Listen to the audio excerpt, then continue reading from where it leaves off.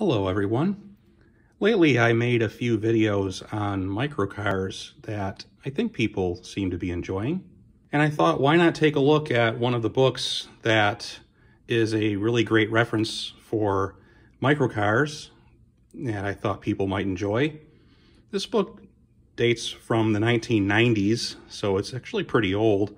And it's called Kleinwagen, as you can see there. It has a picture of a wonderful little BMW Isetta, and that is actually the first year that the Isetta was offered in Germany because it has the bubble windows. It just has the the non-sliding the non-sliding windows, making it more like a bubble car. Now, this is what the original Isetta actually looks like. It's personally my favorite version of it, and there's a couple more. Uh, and it's a very colorful book, full of lots of little cars, and it's really intended for the person who already knows microcars. This isn't probably the best introduction to them because, as you'll see, it's not really a very good reference book since it's it's more of a coffee table book. Uh, Kleinwagen is from German. That's that's the German word, as obviously small cars and it has it translated and in French. So yes, this is a uh, tri. What would that, what, what would you call it? Tri language. It's a multi language book. They even restate things that don't need to be like they they don't need to translate every chapter title, but they do anyway. And so the whole book is set up like this, where it has three columns on each page. The detail they go into isn't so great that you couldn't make do with just having it be one language, but they translated it so that it would be marketable in the United States. And you can see here that it was published in 1993 in Germany. So, Kleinwagen, what what is in this book? Well, lots of famous photographs that you may have seen elsewhere. You can probably find these all over the internet, like the Austin 7, the Fiat Topolino, and the Goggomobil. Pardon the shadow, it's a little bit sunny today. This is the, it's it's not actually the an early Goggomobil, this is a later one, which is identifiable by the door hinges being moved from the back to the front. That's one of the ways that you can tell with the Goggomobiles. Uh, so this would be probably 1962 or later. Same for the little the little coupe here. It's I find that the year that they call out on the uh, caption for most of these pictures is really the year that the car uh, dates that the car was introduced in. It's not necessarily the year of the car in the photograph. And in this case, it definitely is not 1957. It is a later Goggo Mobile Coupe. It's probably, uh, you know, 64, 65, like kind of later. And you can see how in here you have multilingual. So here's the, the English text on the left side, and then the German text in the middle, and the French text on the right. Well, it looks like they, no, they do translate it. Okay. They just put the numbers there once, but they actually translate Italy three ways as if you wouldn't be able to tell. All right, so this is the introductory chapter which shows some of the early cars that we looked at, and then going to the later, a very 90s looking VW Chico. I don't know if they, I don't think they produced those, did they? Probably just a prototype. It says hybrid. Oh, here, swatch car.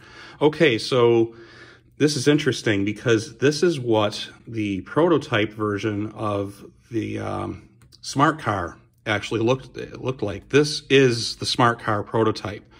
And the original smart car design was really much more rounded. But this car, I believe this is the one that becomes the smart car. And I don't know if the Cabrio version was, was ever widely sold, but you know, there's, we recognize this. And I don't know how late they built this smart car. I think it's, it's just the early aughts, like it's like 98 to 2006 maybe, but yeah, that's where it comes from, Switzerland in 1994. Adventurous Beginnings. And I do like the blue that they have here. And this is probably my favorite chapter because this starts the story of some of the earlier microcars. Here's a really good one, the uh, the Hanomag Loaf. After reading about it a little bit, uh, Bro or Kamisbrat, Kamis, Kamisstrat, I don't know how you say that in um, in Deutsch. Go ahead and let me know.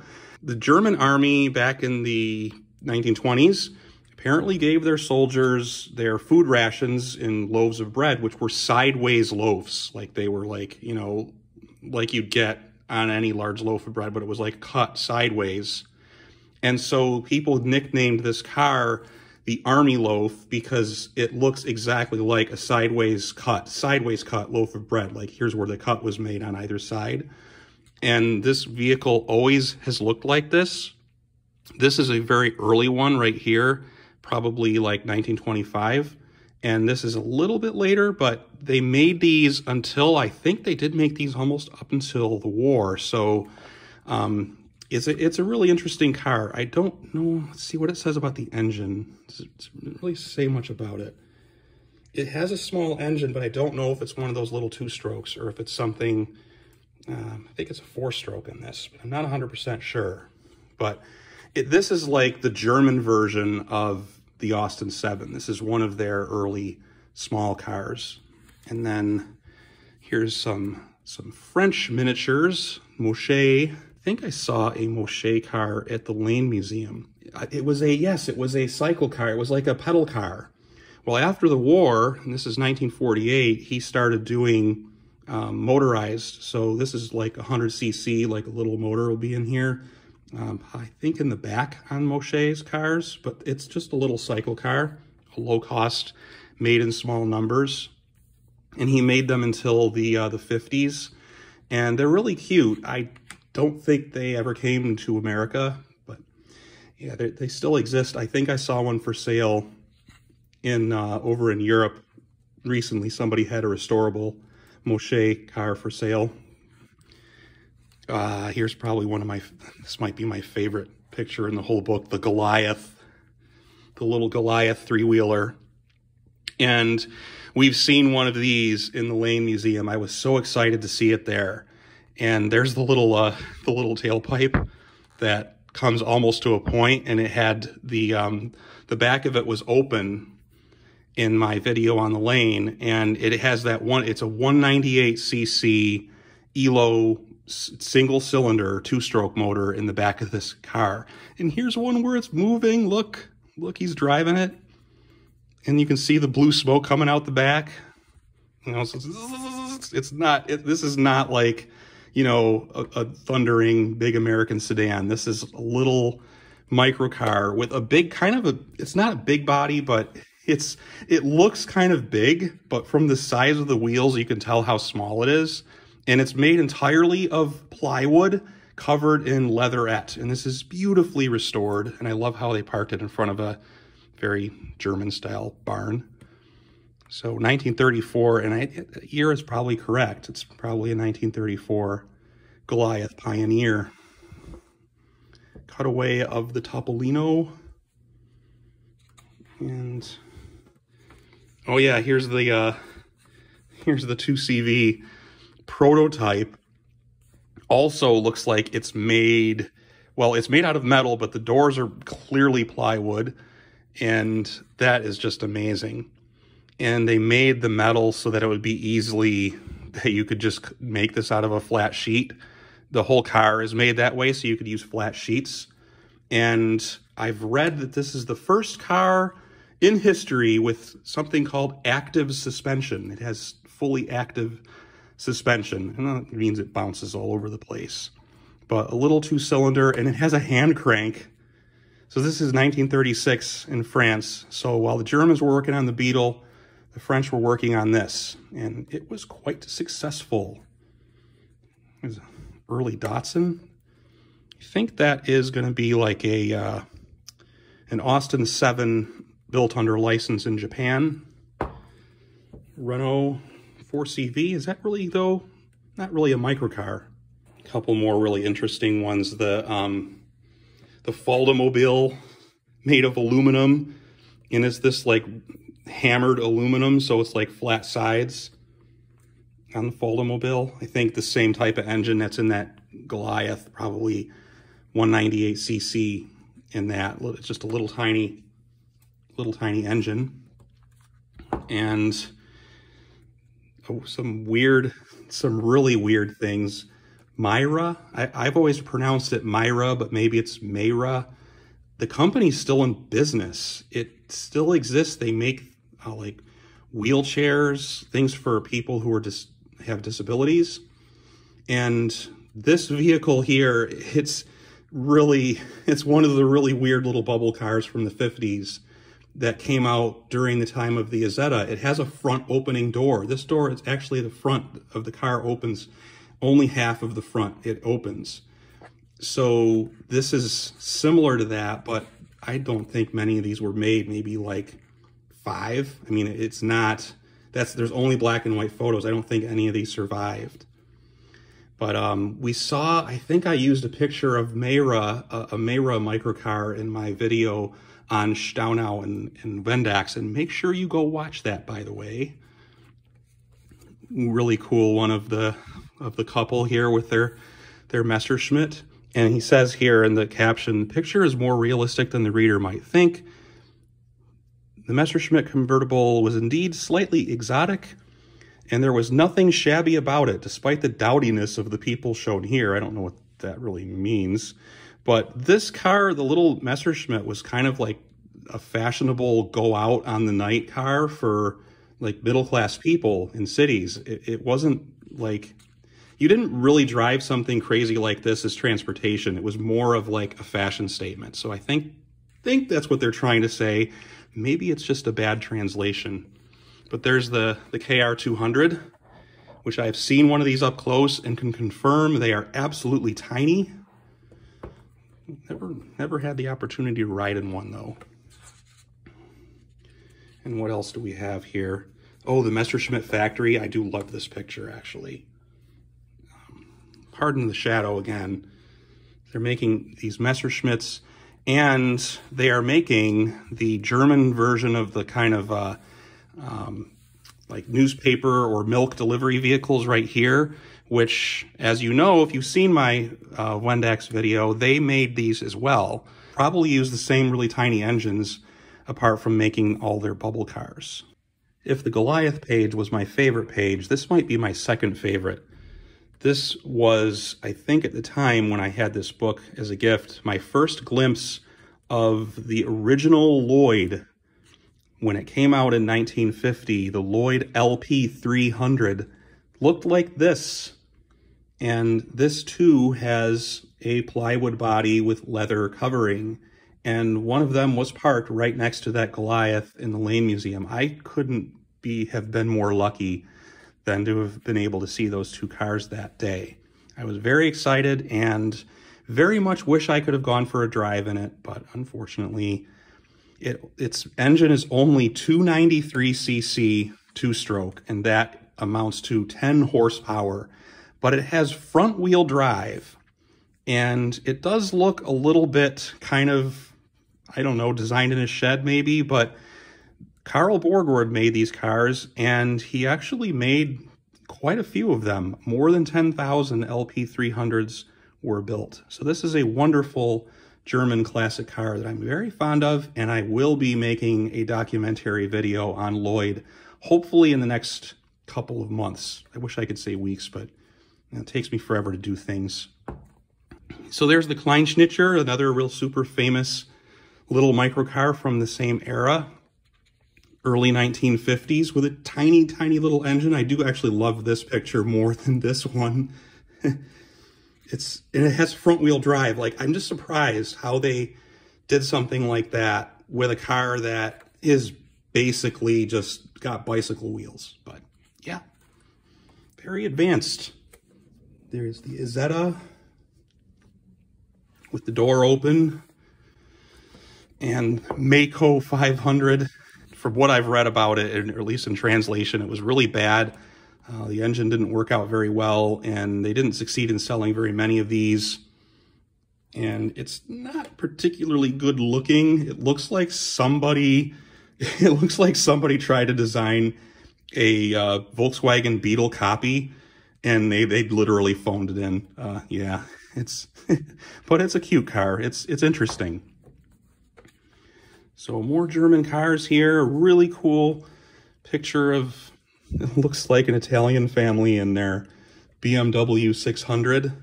You'd never see anything like that today. And the Spatz microcar, another car I'm familiar with, I've seen up close. Kind of ugly. in the uh, Heinkel bubble car. Looks well worn. And these are really neat pictures in this book. So this is what you see in here, you know, like the Mopetta. If you know microcars, these are all like, this is like the greatest hits album. I mean, these are all the most famous microcars around. The Zündapp Janus, it's like, you know, another kind of really well-known one. They don't really do the super obscure makes in here, well, except maybe Kleinschnittger. Goggomobil, and there's so there's what the doors were like on the older ones with had the, the hinges on the back of the door so that it opened this way. Much easier to get in and out, but apparently less safe. I love the cutaway here. It did have a back seat, sort of. It doesn't look like it would work very well, but probably you just put your things back there. But you could get one of three engines. The uh, Glas made a 247cc twin cylinder that I think most of these cars had, or you could get 300cc or 400cc. So, and they were made until the late 60s. So this car is like a real, it's really well known and they, there's at least 300,000 were made, I think, of all types of Goggomobil. But nowadays, you can't, I can't even afford a car like that. They're like 30, 40 grand. There's the, the Buckle Dart, another car that I've actually seen up close. So yeah, this is what I've seen these two in Italy. Fiat's microcars of the day, the Bianchina and the, the 600 and the Multipla. And it's interesting seeing the Multipla uh, being used for like a picnic. I think most of them were ended up being taxis. The second version of the Lloyd, which is the uh, Alexander, and you should recognize this car as well if you know my channel. I have one of these. It's in 118 scale, so I wish I could have a full scale, a one-to-one scale Lloyd Alexander, but uh, the, at least the model that I have is exactly this color scheme. So that's actually why I bought that model, because it has this, it's the same colors as this. I love the big, huge wheels, the backwards opening doors, and the shape. It's just a really unique looking car. Borgward made some very interesting automobiles. It's really a shame that he's gone. And here's another really cool one. And this book actually explains, this little caption actually explains a little bit of the Trabant's origins, that it was the direct predecessor was the P70 of 1955, which is a car that I have uh, mentioned at least once. I do have a model of it. I don't remember which video it's in. I forgive me. It's green, the one that I have. And the Lane Museum, which I have to mention once again, did have one of the uh, one of these P70s, and it was like parked in the back, though I couldn't really get to it. But uh, this is a P50, and when this car first came out in maybe 1950, 58, it was originally just called the P50, and then they renamed it the Trabant. And I think they gave it that name to name it after the Sputnik satellite, which the uh, Soviets had set up. As East Germany was in the Soviet sphere of influence. So this is an earlier version of the Trabant, the P50 Trabant. So that's going to be like early 60s, this one, this version. And then much later, it started to look like this. And this is the open car version, which is called the Tramp. It's kind of an unfortunate name, but uh, these these were actually really popular in the late 80s. And um, but then the, the, everything, they all went out of production because, of course, the wall came down and Germany reunified. So no more Trabants. And NSU in the uh, 1950s, you have the NSU Prinz, the original version, the Prinz 4, and these were sold all over the world which you could get a Wankel engine in one of these. And then they even made a convertible version of that. So that's NSU in the 50s and 60s. And then it starts to get into the uh, the later period, like the 60s and the 70s and 80s, weird like a basket. and then this thing like a Pope Mobile on three wheels. So the modern, modern small cars, modern Kleinwagen. And yeah, you have your Fiat Panda and the 126. I actually have seen one of these on the road. Like a few months ago, a guy drove by in one of these, must have been going to a car show.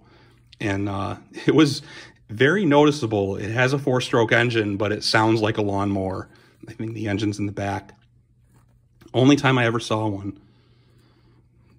Dornier Delta 2. That's like a very, these guys, they look like, uh, you know, a couple businessmen in, it's like very 70s looking with the kind of like wood panel. It looks like 1970s furniture, this thing. And it's got the flat glass. Um, it's still sort of a bubble car, but it's like a square bubble. Ligier. And this is like another version of almost a smart car type thing. So yeah, they started getting kind of boxy. And then there's the Comuta with the batteries. And then GM tried to do like a, a publicity thing with their with some microcars. And again, it's like it looks like the board directors went out for the prototypes. It's such it's so corporate the the way that they did it. Nothing like the Europeans, very dour and businesslike. And within these little tiny cars. They never sold them, they never made them. Some proof that you can fit two people inside of a Peel. And I think this is like 49cc, probably like 30 miles per hour you might get. It's a really cute and weird thing. The whole front of the car has to flip forward to get into it, and I think that's the case with this as well. well it does look like it has a door on the side. Doesn't look like it'd be much fun in a collision. The lean machine. So that's this book, uh, Kleinwagen. I thought I would just go take a look at this and uh, show one of the do, do a book review. I haven't done a book review video in a little while. Uh, you can probably still find these for sale on the on the secondhand market, like at eBay or something, and well, maybe Amazon as well. I don't shop on Amazon personally, but uh, it's up to you. It's probably not very expensive. These are fairly common. It was made by Taschen, and that's like a pretty big publishing house. But anyway, I hope you enjoyed taking a look at that with me. And if you did, throw a like on the video there, and I'll see you again soon in another video. Take care. Bye.